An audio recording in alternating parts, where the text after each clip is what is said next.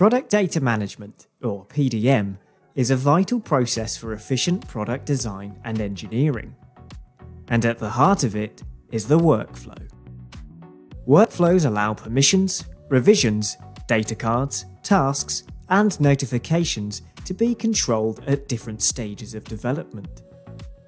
Files reside in a workflow state at any given time, which can control visibility and checkout rights for users. But the real power of the workflow comes from moving between states, which we can achieve using transitions. With SolidWorks PDM Professional, we can take this a step further, using automatic and parallel transitions to maximize your efficiency. Automatic transitions are, as the name suggests, automatically triggered when a file enters a particular state, or is checked in and meets the permission and condition requirements for the transition. These can be used to automatically move files into new states, triggering actions such as updating the data card and sending notifications based on conditions, all without having to manually trigger the transition. An example of this in use is in a set revision workflow, which sets the internal PDM revision to match the revision variable in the data card, vastly reducing the manual input when importing legacy data. It then moves the file to the correct workflow state based on the revision and watermark variables. Automatic transitions are very similar to standard transitions in setup, with a few key exceptions. To make a transition automatic, you can choose the automatic type in the transition properties. Actions, revisions, and notifications can all be set up in the same way as normal transitions. But dynamic notification selection is not possible with an automatic process.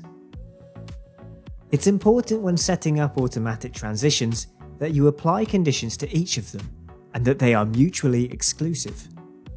If a file encounters two automatic transitions and meets the conditions of both, its behaviour can become unpredictable and therefore may produce unexpected results, like this part, which has entered the drawings state.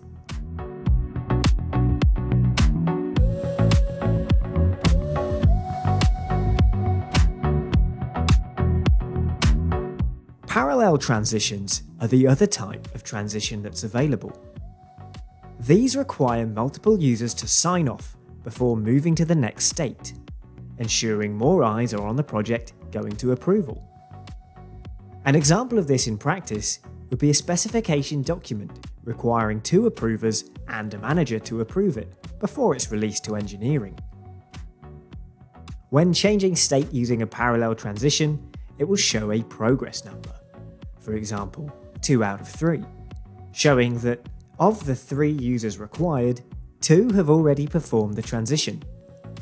Until the transition is fully completed, meaning that all of the required users have carried out the transition, none of the transition's normal functions will be actioned.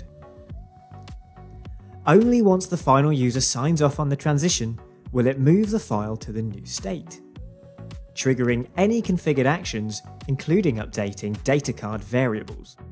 To create a parallel transition, the type can be changed using the drop-down in the transition properties similar to how we create an automatic transition.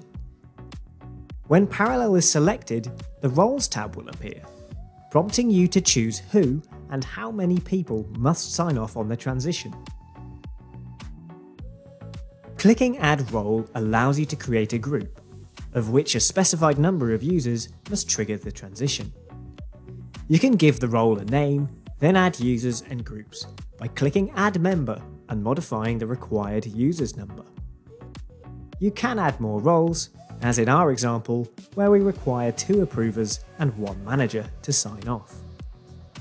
The required users column shows how many are required out of how many total users are in the role. In the set variable transition actions, there'll be a new mapped approvers section where you can configure which users from each role will have their data added to the variable. Here we'll set the first approval variable to be written by an approver, and the second approval variable to be written by a manager. In this example, multiple approvers perform the transition. So which one gets their initials added to the variable? As the approver's role is mapped to the first approval variable, the last approver to carry out the transition will have their details added to this variable. And as there's only one manager required, and the managers group is mapped to the second approval variable, their initials will be added to the second approval. In this next scenario, all users required for the transition are in the same approver's role, but two names need to be written on the data card. Multiple transition actions have been added to write to different variables with the same mapped approvers. When the transition is completed, the actions will be triggered in order from the top of the actions list. For example, these two actions have been set up to write to two variables, first approval and second approval, in this order. When both users perform the transition, each user's initials are written to the respective variables in the order that they approved it, and the date that the transition was finalised is written to the approved on variable. SOLIDWORKS PDM is a powerful addition to your design toolbox, and with parallel and automatic transitions, you can literally streamline your workflow and build intelligence into your approval process and design workflows. So, if you need a robust and highly configurable data management solution for your business, then get in touch with our expert PDM consultants via the details on screen to explore your options.